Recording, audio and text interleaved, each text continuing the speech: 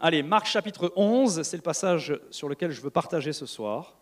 And those of you who were, who were here last night, I shared about how that in your spirit you are already complete. Si vous étiez là hier soir, vous avez entendu de ma part comment nous sommes déjà complets dans notre esprit à la nouvelle naissance. When you were born again, you were given a brand new spirit. Quand on reçoit cette vie nouvelle, cette nouvelle naissance, notre esprit est totalement renouvelé. And it's not a baby spirit that has to grow. Ça n'est pas un esprit euh, nourrisson qui aurait besoin de grandir. The moment you are born again, you are exactly the same in your spirit as you will ever be in eternity. À la seconde même où on reçoit la nouvelle naissance, notre esprit est rendu parfait et il restera ainsi pour l'éternité. Your born again spirit is perfect and complete. Notre esprit né de nouveau est parfait, il est totalement complet.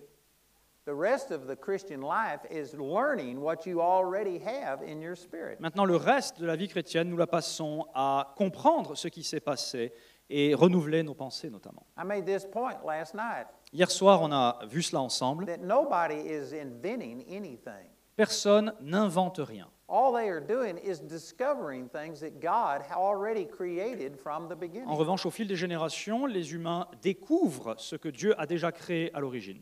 Electricity wasn't invented, it was discovered. L'électricité, par exemple, n'a pas été inventée par l'homme, elle a été découverte par l'homme. Adam and Eve could have been using lights and air conditioning. Adam et Ève auraient pu utiliser la clim et les, les LED. All of the laws that it took to create electricity were present and in the beginning. Les lois physiques qui régissent l'électricité sont sur Terre depuis la création.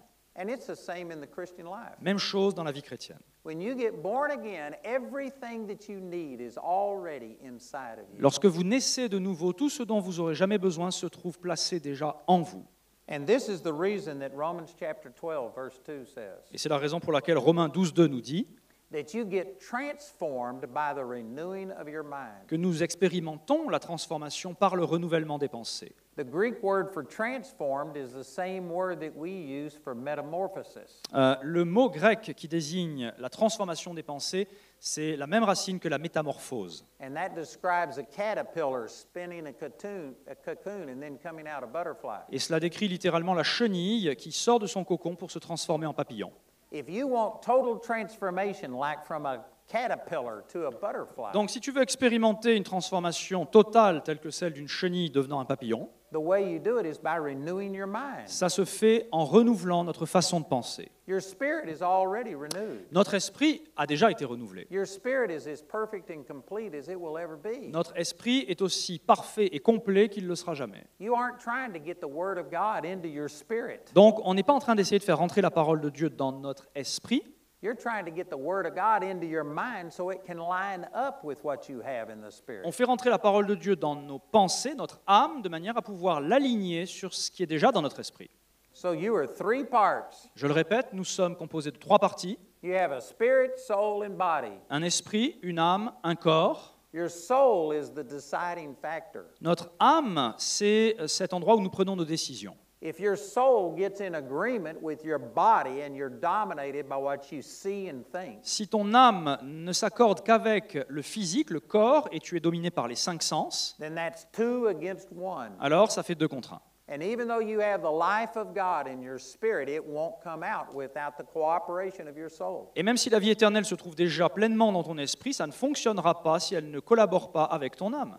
But if you get your soul in agreement with your spirit, then that's two against one. En revanche, si tu accordes ton âme avec ton esprit, alors là, ça fait deux contre un. And once your soul gets in agreement with the truth that's in your spirit, your body just has to follow. Et quand ton âme s'accorde avec la vie éternelle qui est déjà dans ton esprit, alors le corps n'a plus qu'à obéir. This is what the scripture is saying in Proverbs chapter 23 verse 7. C'est ce qui nous est dit notamment dans Proverbe 23, 7. That as a man thinks in his heart, that's the way that he is. Tel un homme pense dans son cœur, tel il est. À la nouvelle naissance, nous avons reçu la pleine vie de Dieu dans notre esprit.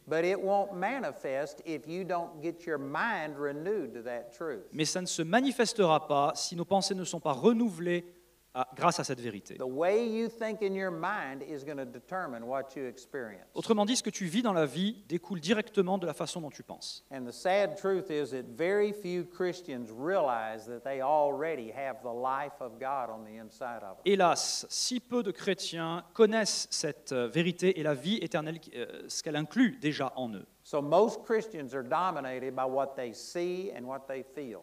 Et donc, en conséquence, eh bien, beaucoup de chrétiens sont dominés par leurs cinq sens, ce qu'ils ressentent, ce qu'ils perçoivent. But the Word of God shows us what we have in our spirit. Mais la parole de Dieu, c'est le miroir qui nous révèle ce que nous avons dans notre esprit. And that's the reason we put so much emphasis on studying the Word of God. Et donc, c'est la raison pour laquelle nous mettons autant l'accent sur une étude approfondie de la parole de Dieu. Because this is your window into who you are in the Spirit. Parce que voici la fenêtre qui vous permet de savoir qui vous êtes dans l'esprit. This is like a mirror that shows you who you are in the Un miroir qui vous montre qui vous êtes dans l'esprit. And that's what I was talking about last Et c'était le sujet de ma prédication hier soir. So if you understand that you have this power on the inside of you, Donc si vous comprenez quelle est la puissance que vous avez déjà en vous, then you've got to learn how to release this life. alors la prochaine étape, c'est d'apprendre comment libérer cette vie éternelle. And this is our instruction book to tell us how to do that. Et voici notre euh, manuel, on pourrait dire, notre mode d'emploi pour, sur comment le faire. So here in Mark chapter 11 is an instance of Jesus uh, demonstrating how to release this supernatural power. Marc chapitre 11 nous relate un exemple, celui de Jésus, et qui nous démontre comment utiliser cette puissance. Il était avec ses disciples en train de faire route vers Jérusalem. Il a eu faim, il a vu un figuier et il s'est attendu à y trouver des figues pour s'en nourrir. And it wasn't time for figs yet, but this fig tree already had leaves. Euh, il se trouve que ce figuier avait déjà des feuilles. And the fig trees in Israel produce figs at the same time they produce Il leaves. faut savoir qu'en Israël, les figuiers produisent à la fois les feuilles et les fruits. So even though it wasn't time for figs, it wasn't time for leaves either. Donc si ça n'était pas le temps pour les figues, ça n'aurait pas dû être le temps pour les feuilles. And so this fig tree was out of the order that God created it to be. Autrement dit, ce figuier rebelle était en train d'aller à l'encontre de l'ordre naturel de Dieu. And when he went to this fig tree and didn't find any leaves, he cursed the fig tree. Donc quand il est allé voir ce figuier et qu'il n'y trouva aucun fruit, eh bien il a maudit cet arbre. And here's what he said in Luke in Mark chapter 11 and verse 14. Et donc Marc 11, 14 et suivant, voilà ce qui nous est dit. He answered and said unto the fig tree, No man eat fruit of you who are hereafter forever. And his disciples heard it. Prenant alors la parole, il dit à l'arbre que jamais personne ne mange de ton fruit, et ses disciples l'entendirent. So he just spoke to this fig tree and said, You will never have anybody eat fruit of you from this time. Donc il a parlé au figuier et lui a dit Plus jamais quiconque ne mangera de ton fruit. And so they went on into Jerusalem, and this is where he uh, cast the money changers out of the temple. Ils ont poursuivi leur route vers Jérusalem. C'est à ce moment-là qu'il a chassé les marchands hors du temple. And that evening, they walked back to where they were staying and apparently passed this fig tree. Et donc, euh, le soir venu, quelques heures plus tard, ils ont fait la route inverse et ils repassent devant le figuier. And it didn't look any different at that time. A priori, aucune différence visible. But it goes on to say that the next morning they entered back into Jerusalem and the disciples saw the tree. Mais les versets suivants, à partir du verset 20, nous disent que le matin, en passant, les disciples virent le figuier And the fig tree had literally died from the roots up. et il était séché jusqu'aux racines. And the disciples were shocked to see this. Et les disciples ont été choqués de voir ça. Jesus didn't do anything to the tree in the natural. C'est-à-dire que dans le naturel, Jésus n'a rien fait à, à cet arbre. He didn't take an axe to it and cut the tree Il n'a pas down. pris un ha- une hache ou une tronçonneuse pour abattre l'arbre. He didn't pour salt on it or do something to kill the tree. Il n'a pas injecté euh, je ne sais quoi ou versé du gros sel. He just spoke to this fig tree and it died. Il a parlé à ce figuier, le figuier est mort. And over in Matthew's account of this same story, Si vous relisez le même épisode dans l'évangile de Matthieu, it said that it died immediately. il nous est dit le figuier est mort instantanément. And yet it was the next day before the death in that fig tree was visible above ground. Mais ça ne contredit pas Marc qui nous dit qu'ils ne s'en sont rendus compte euh, que le lendemain.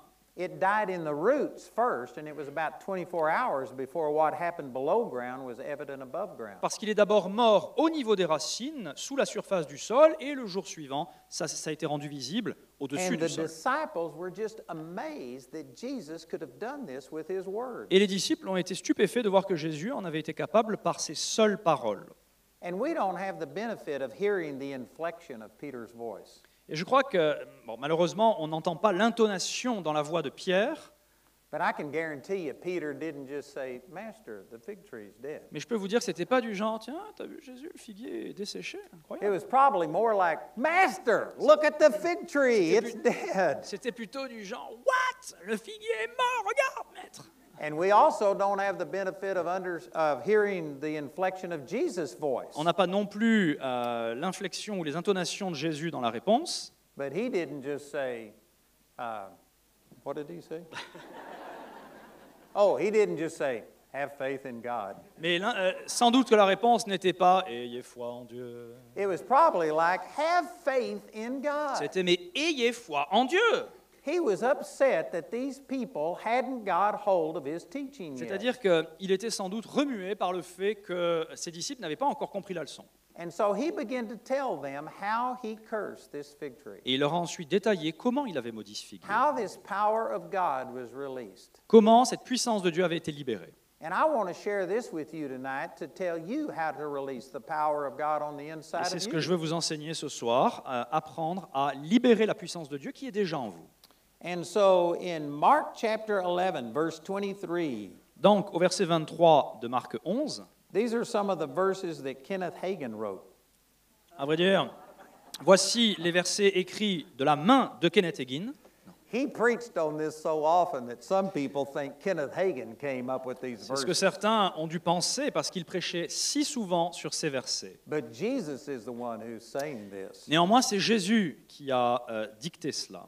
And he said, Verily I say unto you, whosoever will say unto this mountain, Be thou removed, be thou cast into the sea, and shall not doubt in his heart, but shall believe that those things which he says comes to pass, he will have whatsoever he says. Donc Marc 11, 23, je vous le dis en vérité, si quelqu'un dit à cette montagne, ôte-toi de là et jette-toi dans la mer, et s'il ne doute point en son cœur, mais croit que ce qu'il dit arrive, il le verra s'accomplir. There's a lot in that verse. C'est riche hein, comme verset. I've actually got an entire series of teaching on this one verse. À vrai dire, sur ce seul verset, j'ai toute une série d'enseignements. So I'm only going to be able to share just a few things in this time we Je have vais, je vais tonight. partager quelques points euh, à ce sujet ce soir. But there are three times that Jesus said that you have to say. Mais à trois reprises, Jésus euh, nous apprend qu'il est important de dire les choses. Vous savez que l'une des façons de libérer la puissance de Dieu, c'est par nos paroles. Proverbs chapter 18, verse 21 says it this way Proverbe 18, 21 nous dit ceci. It says that death and life are in the power of your tongue. Il est dit la vie et la mort sont au pouvoir de la langue. Your words are powerful. C'est-à-dire que tes paroles sont puissantes. I had a man come to me one time and say, I've heard all of your teaching and know what you say.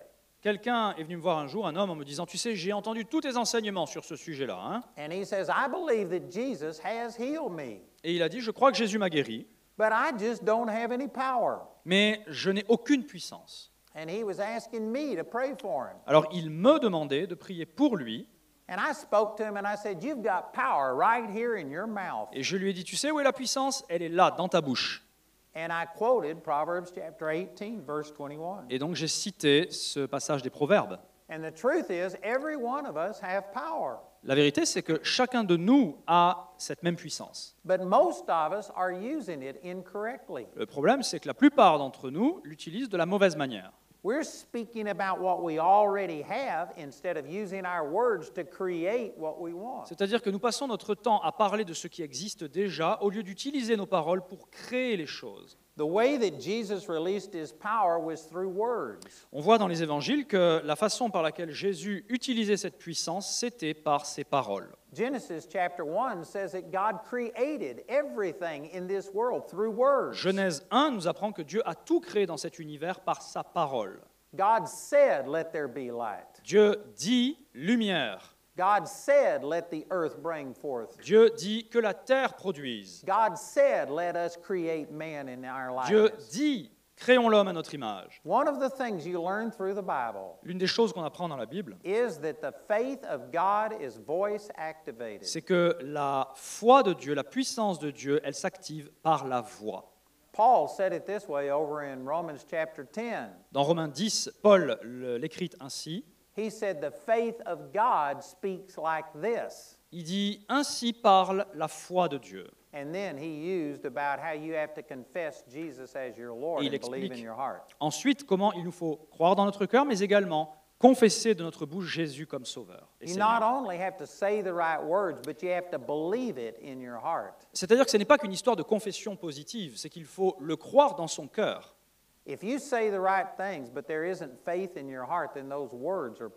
Si les mots prononcés sont justes, mais qu'il n'y a aucune conviction dans le cœur, alors il ne se passe rien. But when you mix faith with what you say, then it's powerful. Quand tu mélanges la foi à tes paroles, alors c'est là que ça libère la puissance. This is the only reason that when people say, That scared me to death, you don't fall over dead. Pour quelle raison, quand on dit je suis mort de trouille, on ne tombe pas direct euh, par terre, sur le be carreau saying the wrong thing, but you really don't believe it with your heart. Parce que tu ne crois pas que tu es littéralement mort de peur. You have to say it and believe it from your heart. C'est-à-dire qu'il faut le dire, mais il faut le croire dans son cœur. But the problem is, if you keep saying something over and over, faith comes by hearing. Maintenant, ce qu'il faut savoir, c'est qu'à force de répéter quelque chose, on va finir par le croire. Il y a la foi qui s'installe. That's what Paul said in Romans chapter 10, verse 17. Et c'est ce que Paul nous dit dans Romains 10, 17. And if you just constantly speak negative things, eventually you begin to believe it. Si tu ne cesses de parler des choses négatives, tu vas finir par les croire.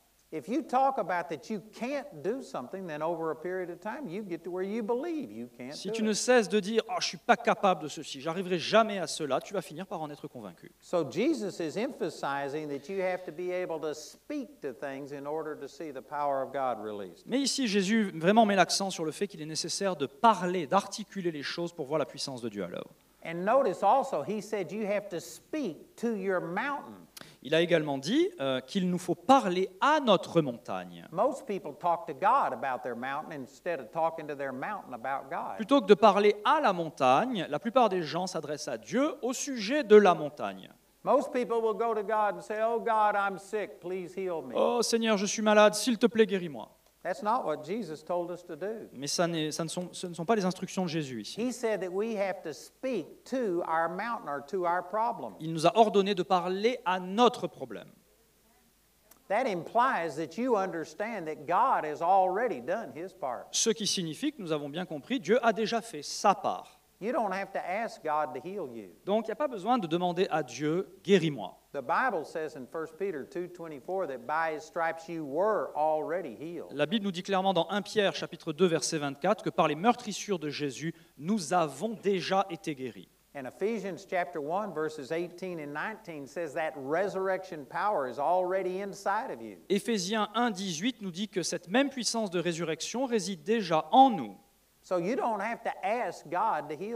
Donc tu n'as pas besoin de demander à Dieu, guéris-moi. You need to believe that he's already provided healing. Tu as besoin en revanche de croire qu'il a déjà procuré ta guérison And he gave you authority to use his name. et qu'il t'a donné l'autorité d'utiliser son nom. And you need to take that authority and speak to your sickness. Et il te faut utiliser cette autorité et parler à cette maladie. Don't talk to Jesus about your sickness, but talk to your sickness about Jesus. Arrête de parler à Jésus de ta maladie, et parle plutôt à ta maladie de Jésus. I had a woman come to me one time who was very sick. Une femme est venue me voir un jour, elle était vraiment mal en point. She had had pain in her body for over seven years. Ça faisait au moins sept ans qu'elle avait des douleurs dans son corps. And the doctor said that she should have died two years before I met her. Et les médecins lui avaient déjà dit, vous savez, vous avez eu deux ans de rab, là, ça fait au moins cinq, euh, deux ans que vous devriez être décédé. And so I was staying in a mutual friend's home, and they told me about her and asked if she could come and receive prayer. Il se trouve que euh, je résidais chez des amis communs, ils m'ont parlé de son cas et ils m'ont dit, est-ce que tu accepterais qu'elle vienne pour qu'on puisse prier pour elle? And the doctors told her that on a scale of 1 to 10, her pain was a constant 11.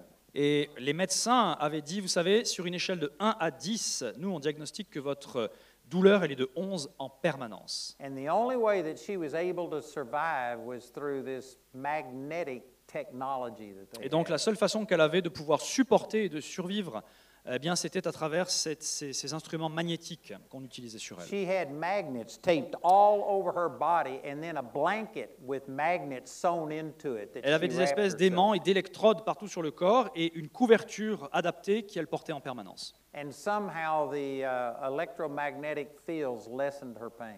Et les- ces champs électromagnétiques qui étaient créés de la sorte eh bien, euh, apaisaient un petit peu ses souffrances. But this woman had been in constant pain for over seven Et years. vous imaginez maintenant une douleur permanente pendant sept ans. And she came in and I started ministering to her about healing. Donc elle est venue et j'ai pu euh, ouvrir les Écritures avec elle concernant la guérison. And I used these exact scriptures to tell her about how to receive that healing. Et j'ai utilisé ces mêmes versets pour l'enseigner à recevoir sa guérison. And so I prayed for her, and after prayer, I said, Now, do you have any pain? Donc j'ai prié pour elle et puis ensuite j'ai dit, bon, est-ce que tu souffres encore? And this woman stood up, took that blanket off, and she had no pain for the Elle first s'est time. levée, elle a enlevé cette couverture et elle a dit, tu sais quoi? Pour la première fois depuis sept ans, je n'ai plus mal. And she began to praise God for, because she was pain free for the first time in seven Et vous years. imaginez qu'elle a commencé à louer Dieu parce que cette douleur avait disparu. But then she says, I have a burning right here at my waist in the back. Mais ensuite, elle a dit, tu sais quoi, je ressens comme une brûlure dans le bas du dos. She says, Why do I still have the burning? Et elle s'interroge, elle m'interroge en disant, pourquoi j'ai toujours cette, cette brûlure-là? And I told her, You didn't tell me you had a burning. J'ai dit, mais tu m'as jamais parlé de cette brûlure. I said, I didn't rebuke burning. J'ai pas euh, chassé la brûlure, I rebuked pain, and J'ai that's the reason chassé- it left. la douleur. Je me suis adressé à la douleur, c'est la raison pour laquelle la douleur est partie. So I said, Let me pray over the burning. Donc j'ai dit, bah, prions au sujet de cette brûlure. And I spoke to the burning and commanded it to go, and it left. J'ai donc parlé à la brûlure et je lui ai ordonné de partir. And so this woman was praising God. Et à nouveau, elle louait Dieu. And I spent about 20 minutes teaching her Mark chapter 11, verse 23. Et pendant 20 minutes, je lui ai enseigné Marc 11, 23. And I said, if you ever have another pain or another burning, it doesn't mean you weren't healed. Et donc je lui ai dit, tu sais, même si tu ressens à nouveau des symptômes de douleur ou de brûlure, ça ne veut pas dire que tu n'as pas été guéri. It just means that the devil is trying to get back into your body. Ça veut juste dire que le diable est en train d'essayer de venir agir dans ton corps. It's like the devil is knocking on your door. Comme si le diable vient frapper à la porte de chez toi. And you don't have to open that door and let him back in. Mais tu n'es pas obligé de lui ouvrir et de le laisser rentrer.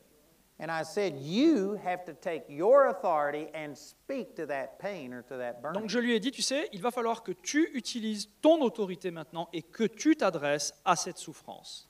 So after I had taught her these things for 20 minutes, Donc après 20 minutes d'enseignement, she started to leave and put her hand on the doorknob. elle va pour partir, elle a la main sur la poignée And she just froze in that position. et elle s'immobilise.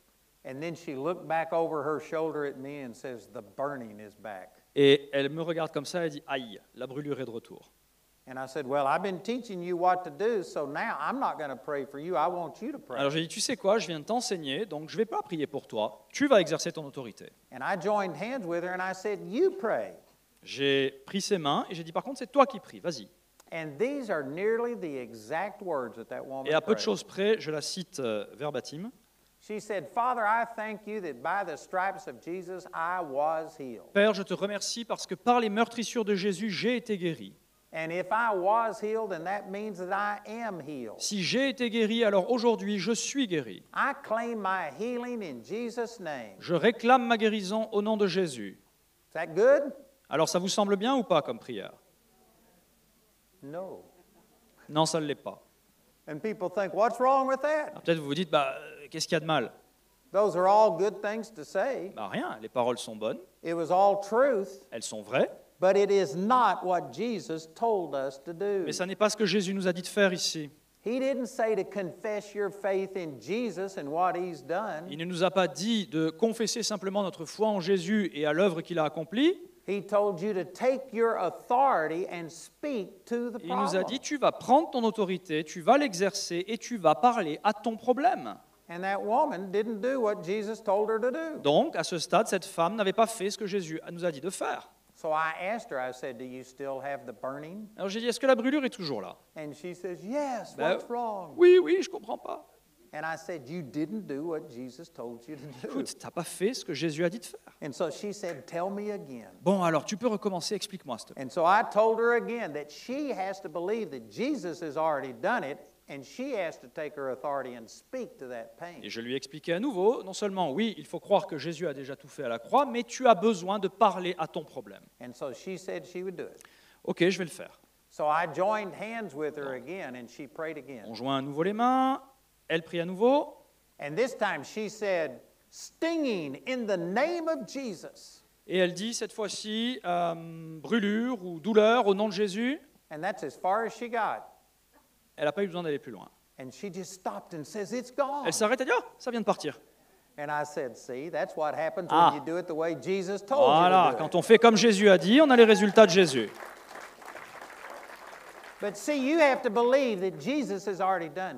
Mais bien sûr qu'il faut croire avant tout que Jésus a déjà fait sa part. And then you have been given the authority to release that power. Puis que tu as reçu l'autorité pour libérer sa puissance.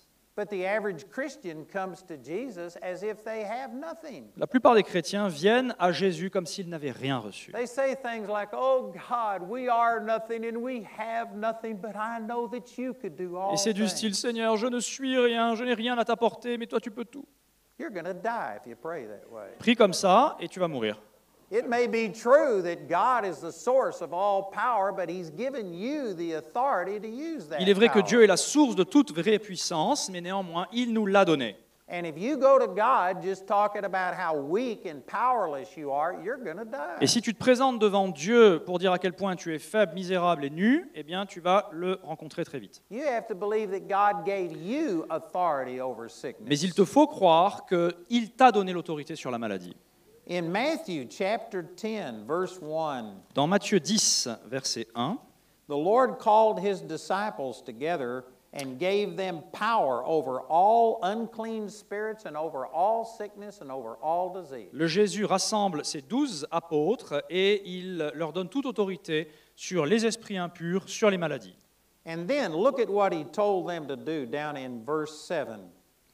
Et au verset 7, He says, And as ye go, preach, saying, The kingdom of heaven is at hand. allez, prêchez et dites, le royaume des cieux est proche. And then in verse 8, he says, Heal the sick, cleanse the lepers, raise the dead, cast out devils, freely you have received, freely give. Au verset 8, à présent, guérissez les malades, ressuscitez les morts, purifiez les lépreux, chassez les démons. Vous avez reçu gratuitement, donnez gratuitement. He told you to heal the sick. Donc vous voyez qu'il vous a dit, nous a dit de guérir les malades. God doesn't heal the sick. Dieu n'a pas guéri les malades. You heal the sick. Tu guéris les malades. Now it's God's power. Alors évidemment que c'est la puissance de Dieu, I have no power in myself. c'est-à-dire qu'en moi-même, je n'ai pas cette puissance dans ma chair. God's power has been given unto me and I have to use it. Néanmoins, l'autorité, la puissance de Dieu m'ont été données par lui et je dois l'utiliser. You know, it's like electricity. I, I'm not the source of electricity, C'est comme l'électricité, je n'en suis pas la source. but the electricity in my house has been put under my command. Mais l'électricité qui est chez moi, eh bien j'en ai le pouvoir. If I want to turn on the lights, I don't call the company and ask them to turn on the Quand je rentre chez moi et que je veux allumer la lumière, j'appelle pas EDF. Ils génèrent la puissance, mais c'est moi qui active le bouton. But if I want the lights on, I have to go flip the switch. Hein, c'est ce qu'on fait tous quand on rentre à la maison. On active nous-mêmes le bouton. In a sense, I'm commanding that electricity to come on. D'une certaine façon, j'ordonne à cette électricité d'agir. It's at my command. C'est en mon pouvoir. I'm not the source of that power. Je ne suis pas la source de l'électricité. I could put a light bulb in my mouth and it'll que- never come on. Si je visse une ampoule dans ma bouche, elle ne va pas s'allumer. hein. But the power is at my command. Mais cette puissance est à ma disposition. And if I don't flip the switch, it's not going to be turned on. Maintenant, si je n'allume pas l'interrupteur, eh ben, on va rester dans le noir. God has placed his power on the inside of you. Dieu a déjà placé sa puissance en vous. And God's power is at your command. Et cette puissance est à votre disposition. And if you don't understand that and take your authority and just beg God for something, you're going to die. Et si vous ne comprenez pas cela et que vous vous contentez de supplier Dieu de faire quelque chose, eh bien vous mourrez. You have to find out that God has already given you his power and authority. Donc il nous faut découvrir, être convaincu que Dieu nous a donné sa puissance, son autorité. And then you have to learn how to release it. Et ensuite, il nous faut apprendre comment libérer cette puissance. And one of those ways you release it is by the words that you speak. Et l'une des façons de le faire, eh bien, c'est par les paroles que nous prononçons. A friend of mine went to Nigeria and held some meetings. Euh, J'ai un ami qui est allé diriger des réunions au Nigeria. And he saw blind eyes open and deaf ears open and great miracles. Il a vu de superbes miracles, des aveugles recouvrer la vue, des sourds recouvrer l'ouïe. And the next day he was walking through the marketplace just, you know, so- soaking up the culture. Et le lendemain, eh bien, il était en train de s'imprégner de la culture locale au marché. And so he was a white man in a nation where everybody else was black. Donc c'était un homme de couleur blanche au beau milieu de gens de couleur noire, le seul. And so they recognized him in the market as the evangelist who had Donc immédiatement, il a été reconnu comme l'évangéliste qui animait les réunions la veille au soir. And when they recognized him, people started running up to him and screaming and wanting to touch him. Et quand ils l'ont reconnu, ils ont foncé sur lui et tout le monde voulait le toucher. And his first reaction was to say, It's not me, it's not me, it's Et Jesus. sa première réaction a été de dire non mais c'est pas moi, ça n'est pas moi, c'est Jésus. But before he could say that, the Lord spoke to him. Mais avant qu'il n'articule ces mots, le Seigneur lui a parlé. And he said, What would you have thought when I rode into Jerusalem on that donkey? Et il lui a dit imagine-moi aller à Jérusalem sur le dos de cet anon. If that donkey had said, It's not me, don't praise me, Et que cet âne, voyant les gens approcher, avait dit non mais c'est pas moi, c'est pas moi, ne m'adorez pas. They weren't praising the donkey, they were praising the one that was riding on Ils n'étaient pas en train d'adorer l'âne, ils étaient en train d'adorer celui qui le chevauchait. And the Lord told my friends, They aren't praising you, they see me in you. Et le Seigneur a dit c'est pas toi qu'ils adorent, c'est qu'ils me voient à travers toi. And the Lord told him, Just let them touch you. Et le Seigneur lui a dit laisse-les te toucher. And so he started walking through the market like this. Et donc il a commencé à arpenter les allées du marché avec les mains comme ça ouvertes. See, we've been taught that we have nothing and that we can do nothing. Tu vois, le problème c'est qu'on a été enseigné euh, tu n'as rien, tu ne peux rien.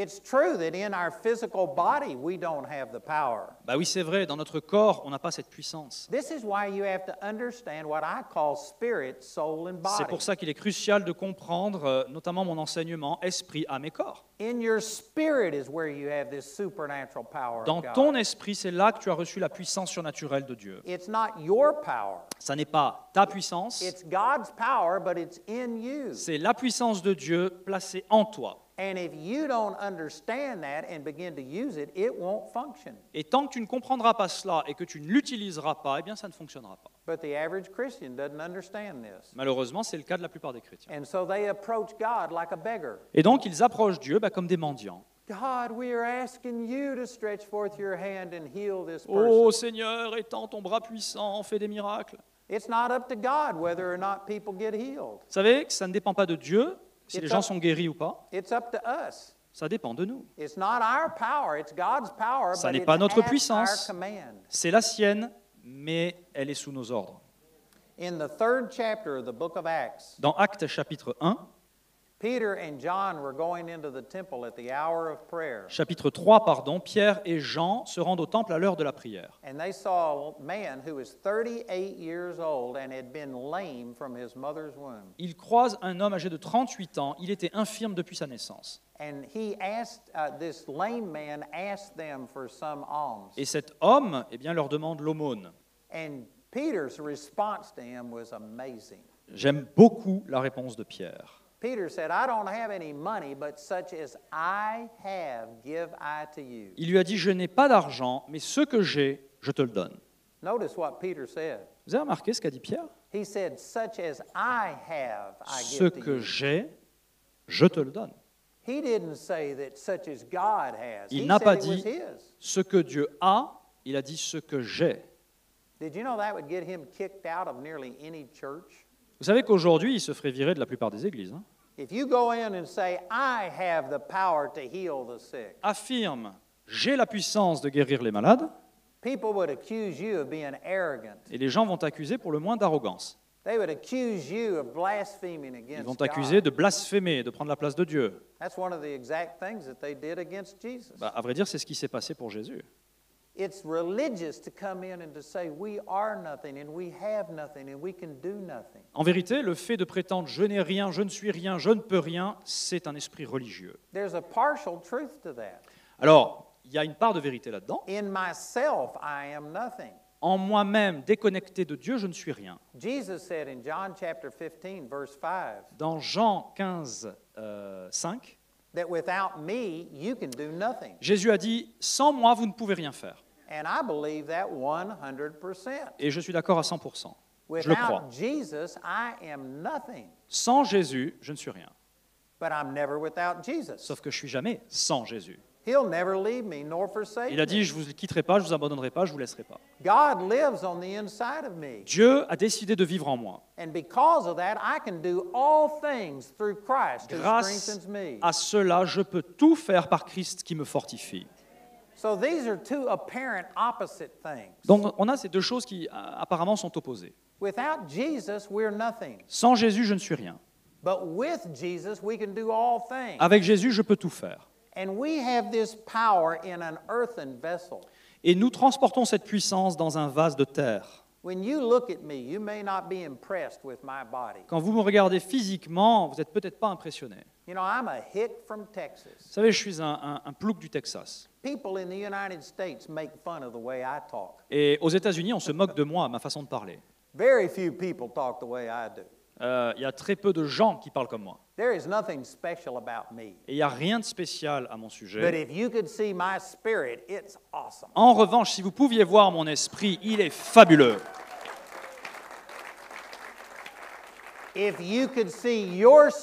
Si vous pouviez voir votre esprit né de nouveau, il est fabuleux. And you can see your spirit through the mirror. Et vous pouvez le voir comment? À travers le miroir. You can hold this mirror up and read in John 14, 12. Vous pouvez lire par exemple Jean 14, 12 dans ce miroir. Jesus said, The works that I did, you will do also, Jésus a dit. Les œuvres que j'ai faites, vous les ferez également et vous en ferez même de plus grandes. That's what the mirror says about your spirit. Voilà ce que dit le miroir à propos de mon esprit. Now, are you going to be controlled by what the mirror says, or are you going to be controlled by that physical mirror? Maintenant tu décides, soit tu vis par ce miroir, soit tu vis par le miroir de la salle de bain. The victory in the Christian life is to get where you see yourself the way that God sees you. La victoire dans la vie chrétienne, on l'obtient quand on la vit, quand on, on vit à travers le miroir de la parole de Dieu. Dans Philémon 1, verset 6, Paul was praying a prayer for his friend Ph- Philemon. euh, Paul est en train de prier pour son ami Philémon. And he prayed that the communication of his faith would become effectual by acknowledging all of the good things that were in him. Et il prie que la participation de Philémon à la foi soit rendue efficace en faisant reconnaître tout le bien qui est en nous. He didn't pray that God would give him something more and empower him with a greater anointing. C'est-à-dire que Paul ici n'est pas en train de, de demander à Dieu, donne quelque chose de nouveau à Philémon, remplis-le plus. He said your faith would become effectual by acknowledging what you already have. Il lui dit, ta foi va devenir efficace quand tu vas reconnaître le bien qui est déjà en toi. Again, it's like all of these inventions that we have today. À nouveau, c'est comme les découvertes que nous avons aujourd'hui. Nobody has created anything. Personne n'a rien inventé. They're only discovering what God already made thousands of years En revanche, ils ont découvert ce que Dieu avait déjà créé il y a des milliers d'années. You don't need another touch from God. Donc tu n'as pas besoin d'un nouveau toucher de Dieu. You don't need a greater anointing from God. Tu n'as pas besoin d'une plus grande onction de Dieu. You need a revelation of what Jesus has already done on the inside En revanche, tu as besoin d'une plus grande révélation de ce que Dieu a déjà fait en toi. Look at these verses out of 2 Peter chapter 1. Regardons 2 Pierre chapitre 1. And in verse 2, it says, Grace and peace be multiplied unto you through the knowledge of him. Verset 2 de Pierre 1, 2, que la grâce et la paix vous soient multipliées par la connaissance de Dieu et de Jésus notre Seigneur. And in verse 3, it says, According as his divine nature hath given unto us all things that pertain unto life and godliness through the knowledge of him. Verset 3, Sa divine puissance nous a donné tout ce qui contribue à la vie et à la piété, au moyen de quoi? De la connaissance de celui qui nous a appelés par sa propre gloire et par sa vertu. That says everything you need comes through the knowledge of him. Donc en substance, il nous est dit ici, tout ce dont tu as besoin va te venir d'une plus grande connaissance de Dieu. Once you're born again, you've got everything that you need for the rest of your life. Depuis ta nouvelle naissance, tu as déjà dans ton esprit tout ce dont tu as besoin pour cette vie. You don't need to go get healing. Donc tu n'as pas besoin d'aller chercher la guérison, You need to discover the supernatural healing power of God that's already inside of you tu as besoin de découvrir quelle est déjà la puissance surnaturelle de guérison qui réside en toi and learn how to release it. et d'apprendre comment la libérer. It goes on to say in the next verse that this supernatural knowledge of God was given to us through these promises of God's Word. Et au verset suivant, le verset 4, il nous est dit que la connaissance de cette euh, puissance surnaturelle, eh bien, elle nous est donnée à travers la parole de Dieu. So God's Word is where we get this knowledge. Donc cette parole de Dieu, c'est là qu'on connaît mieux. And this knowledge releases the power of God that's in you at salvation. Et cette connaissance, elle te permet de libérer la puissance de Dieu que tu as déjà reçue à la nouvelle naissance. So the most important thing you will ever do to release the power of God Alors la chose la plus importante que nous puissions faire pour libérer cette puissance, is to learn the Word of God. c'est d'apprendre la parole de Dieu. To get to where God's Word is more real to you than what you see or feel. En arriver au stade où cette parole de Dieu, elle est plus réelle pour toi que ce que tu peux ressentir avec tes cinq sens. You know, I haven't arrived in this area, but at least I've left. Vous savez, je ne suis pas encore arrivé là où je voudrais, mais j'ai quitté mon point de départ. I don't know if that comes across in French. Yes, it does. Okay. Je ne sais pas si ça match en français, mais So oui, I'm ça not match. saying I've totally renewed my mind to it, but I've begun this Ce process. qui veut dire, je ne suis pas encore arrivé au stade où ma pensée est totalement renouvelée à ce sujet, mais le processus est bien engagé. And I've gotten to a place to where what I believe is more real than what I feel. Et j'en suis arrivé au stade aujourd'hui où ce que je crois de la parole de Dieu est plus réel pour moi que ce que mes cinq sens perçoivent. You know, on March the 4th, 2001, Jamie and I were awakened at 4:15 in the morning by a phone call. Vous savez, le 4 mars 2001, ma femme et moi, on a été réveillés par un coup de fil à 4 heures euh, du matin. And it was my oldest son who called us and said, "Dad, I'm sorry to tell you this, Et c'était notre fils aîné qui nous dit Papa, maman, je suis navré de vous appeler. Mais Peter, qui est le nom de notre fils cadet, est mort. And I asked him what happened. Alors je lui ai dit Qu'est-ce qui s'est passé? And then I told him, I said, "Don't you let anybody touch him until we get there." Et ensuite, je lui ai dit Écoute, assure-toi que personne ne le touche jusqu'à ce qu'on arrive. And it took us an hour and 15 minutes to get up and get into Il town. nous a fallu une heure et quart pour nous préparer, pour euh, arriver sur le lieu. But immediately, Jamie and I just spoke our faith and spoke over this boy. Mais dès qu'on avait raccroché le téléphone, ma femme et moi, immédiatement, on a parlé notre foi, on a parlé ce que l'on croyait. And we knew the power of words. Et nous connaissions la puissance des paroles. And so all we spoke was faith. We didn't sp- speak what we felt. Et donc tout ce que nous avons laissé franchir nos lèvres, c'était la foi. We began to have grief and sorrow the same as anybody would if your child died. Évidemment que dans nos, émo- nos émotions, eh bien, la tristesse, le chagrin ont- ont- sont venus taper à la porte, But comme n'importe qui. says that we don't have to grieve the way that the world grieves. Mais la Bible nous dit que nous n'avons pas à crouler sous la souffrance comme le monde. And that Jesus bore our sorrows and carried our griefs. Et Jésus a porté nos souffrances, c'est ce qui est écrit. And so instead of venting those griefs and sorrows, Et donc, au lieu d'ouvrir grand les vannes à, cette, à ces émotions de souffrance et de tristesse, j'ai choisi délibérément de louer Dieu. And I didn't feel like praising God. Ma chair, mes émotions n'avaient pas envie de louer Dieu. I felt like crying. Moi, j'ai plutôt envie de pleurer. I felt like complaining. J'avais plutôt envie de me lamenter. But I chose to operate on what the Bible says about me instead of what I felt. Mais j'ai choisi d'agir ce selon ce que la Bible dit à mon sujet plutôt que selon mes émotions. And there's a long story that I don't have time to give. Et but je vais vous épargner la, la version longue. But God brought things back to my remembrance that He had told me about that boy. Mais Dieu m'a rappelé à ce moment-là des choses qu'il m'avait dites à propos de, ce, de notre fils. And they hadn't come to pass at that time. Des choses qui ne s'étaient pas encore produites. And all of a sudden, I just connected these thoughts. Et soudain, eh bien, ça a fait sens. And I realized that for God's word about him to come true, he had to live. Et j'ai réalisé que pour que ces paroles qui avaient été dites à propos de mon fils puissent se réaliser, il fallait qu'il vive à nouveau. And so I just started rejoicing and praising À ce moment-là, j'ai commencé à me réjouir authentiquement et à louer Dieu. And I told Jamie, this is going to be the greatest miracle that we've ever seen. Et j'ai dit à ma femme, tu vas voir, ça va être le plus grand miracle qu'on ait jamais vu.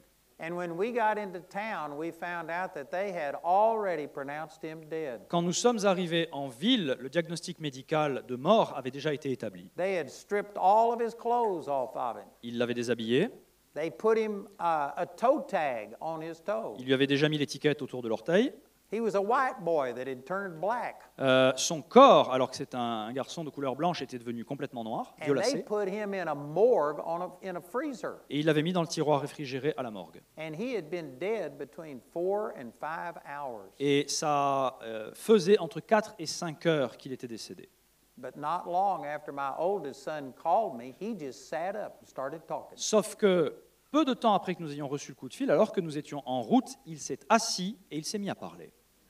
And when we got there, he was alive and well. Et quand nous sommes arrivés, eh bien, il était sain et sauf. Raised from the dead after over four hours being without any oxygen. Ressuscité des morts après plus de 4 heures sans oxygène. And to this day, he's alive and well. Et à ce jour, il se porte bien. Every one of us has that power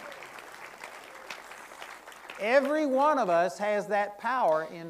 Mais mes amis, chacun de nous, né de nouveau, avons déjà cette puissance en nous. But are you going to respond to life's problems with what you see and feel or Ma- what you are in the spirit? Ma question est comment réagis-tu au challenge de la vie? Est-ce que c'est uniquement d'après tes cinq sens ou est-ce que d'après ce que tu peux lire dans la parole de Dieu If you don't know what you have, then there's no option for you to act that Bah. Évidemment, si tu ne sais pas ce que la parole dit à ton sujet, tu n'as pas d'option. Tu vas réagir d'après les cinq sens. So you got to discover what the Bible says that you have in your spirit. Donc la première chose à faire, c'est que tu découvres par toi-même ce que la Bible dit qu'il y a déjà dans ton esprit. And then you got to discover how to release this power. Et ensuite, tu découvres comment libérer cette puissance. And what I've shared tonight is just one thing.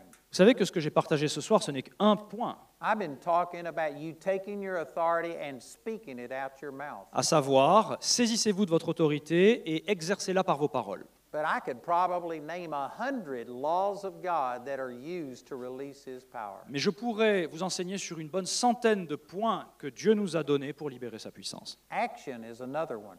Agir par la foi, c'en est un autre. James chapter 2 verse 20 says faith without works is dead. Jacques 2, 20 nous dit que sans la foi, sans les œuvres, pardon, la foi est morte. Even if you speak the right thing but then your actions are contrary, you void the, that power. Autrement dit, même si tu prononces les bonnes paroles par la foi, mais que tu n'agis pas en conséquence, il ne se passe rien. So your actions need to be consistent with what you're saying. Donc il faut que tes actes collent avec ce que tu crois et avec ce que tu dis.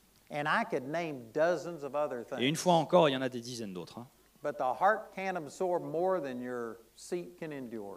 Mais il y a ce dicton qui dit que le cœur ne peut recevoir que ce que les- le postérieur peut endurer. And so I'll have to save that for another time. Et donc, ce sera pour une autre fois. Or you could go to Charis Bible College and you can learn. Ou alors, inscrivez-vous à Caris, euh, à l'école biblique Caris, et puis vous en saurez plus.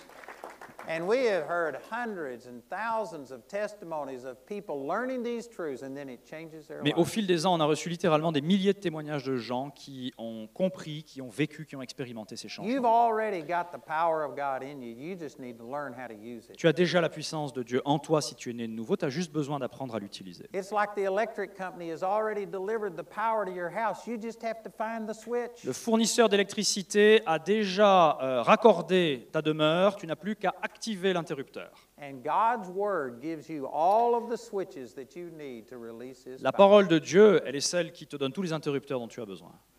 So I pray that God just puts a hunger in your heart to know the truth of His Word. Donc ma prière, eh bien, c'est que Dieu euh, suscite la faim en toi pour en savoir plus à propos de sa vérité.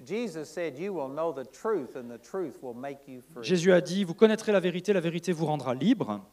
Any good thing that's ever happened in my life has happened because of the truth of God's Word. Tout ce qui s'est passé de bon dans ma vie, eh bien, je l'ai expérimenté grâce aux vérités de la parole de Dieu. Just like you heard Mike and Carrie up here tonight sharing. Vous avez entendu un peu plus tôt ce soir Mike et Carrie qui sont venus partager?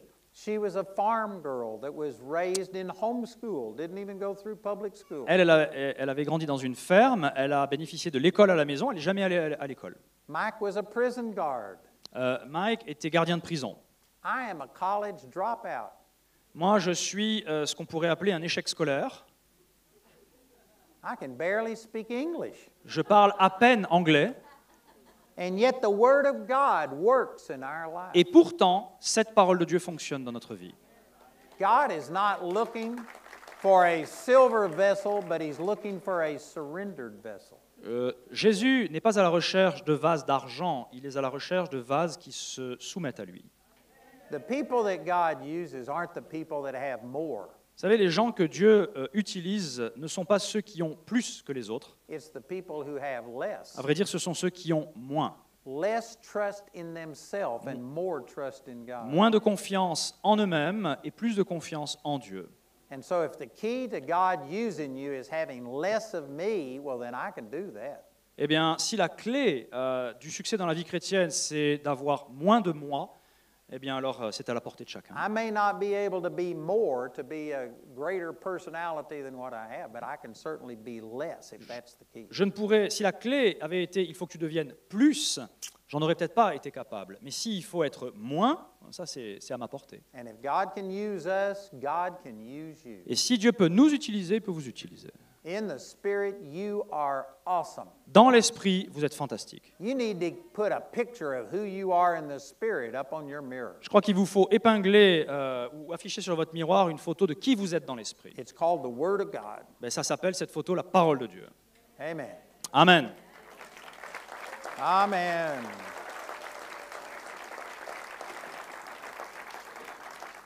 So, if there's anyone here tonight that doesn't know Jesus, you've got to be born again. To Si ce soir, il y a des gens parmi nous qui ne connaissent pas Jésus, qui n'ont pas fait de lui leur sauveur et leur Seigneur, il vous faut recevoir la nouvelle naissance. Vous allez pouvoir le faire dans un And if instant. you've already been born again, but if you don't have the baptism of the Holy Spirit, you need that. Et si vous êtes né de nouveau, mais que vous n'avez jamais reçu euh, le baptême du Saint-Esprit, eh bien, il faut que vous le receviez également. The Bible was written by the Holy Spirit. La Bible a été écrite par le Saint-Esprit. 2 Peter chapter 1 says people spoke as they were moved by the Holy Spirit. 2 Pierre chapitre 1 nous dit que les, gens ont- euh, les, les prophètes ont parlé selon ce que l'Esprit euh, leur inspirait.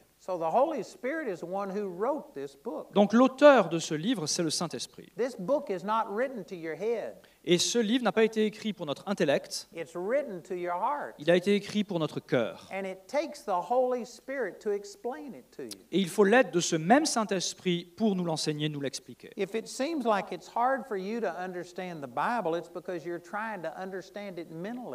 Tu sais, si tu trouves qu'il est difficile de comprendre la Bible, c'est peut-être que tu essayes de le faire intellectuellement. Mais